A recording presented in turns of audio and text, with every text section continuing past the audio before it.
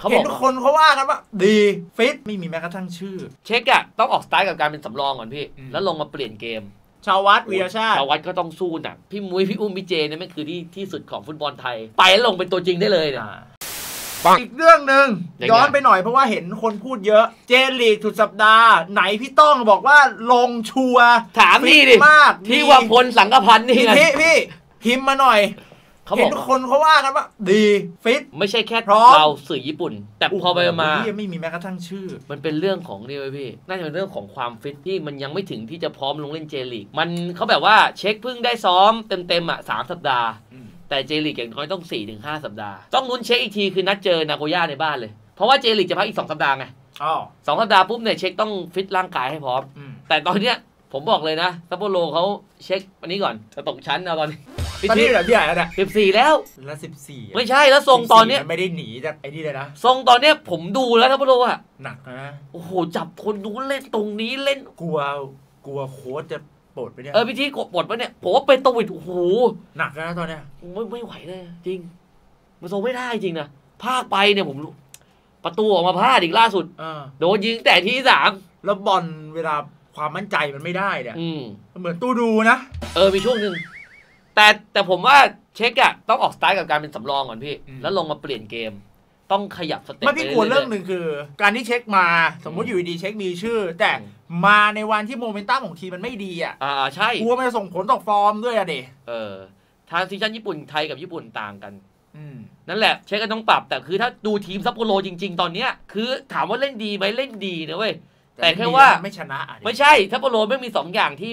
ที่มันเป็นของอะไรวะ ผิดพลาด ยิงคู่ต่อสู้ไม่เข้า อ่า ยิงไม่คม อ่า เสียง่ายง่ายอ่า ใช่สองอย่างผมภาคมา ไอ้ให้ตัวดูเนี่ย ใช่ไง ก็บอกแล้วคือยิงอะไม่คมเสียง่ายอีก อ่า แต่ผมว่าเช็คอะต้องใช้เวลา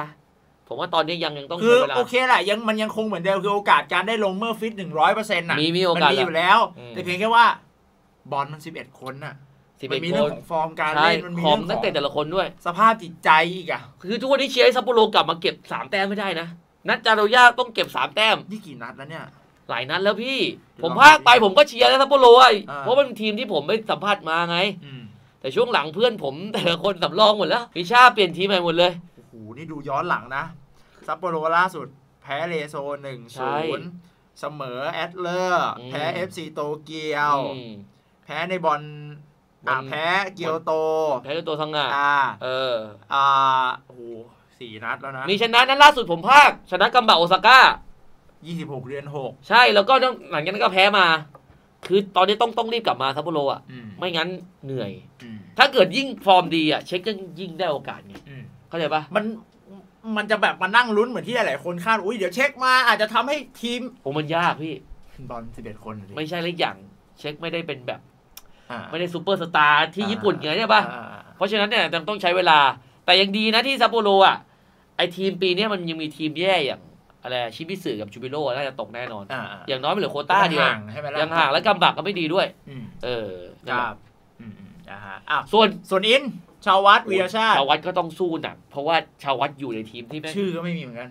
นักเตะเกรด top อะอืมเกรด top ผมถึงบอกไงว่า พี่มุ้ยพี่อุ้มพี่เจเนี่ยแม่งคือที่ที่สุดของฟุตบอลไทยอ่าที่ไปแล้วลงเป็นตัวจริงได้เลยเนี่ยอ่าอันนั้นคือเขาที่สุดแต่คือทั้งชาววัฒน์ทั้งสุภโชคอะเขายังต้องใช้เวลาในการจะไปแบบพี่มุ้ยพี่อุ้มพี่เจ แต่ผมเชื่อว่าเขาไปได้ เขาสู้อยู่แล้ว ให้กำลังใจกันแล้วอย่าไปชวนเขากลับบ้าน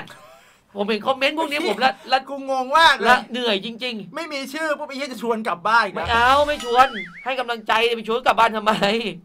ให้กำลังใจต่อไปเออเออก็ผมว่าหวังว่า สองสัปดาห์หลังจากนี้ถ้าเกิดทั้งอินและสุภโชคทำได้ดีผมว่าสามสิบกรกฎาคมน่าจะมีชื่อมรอดูแล้วกัน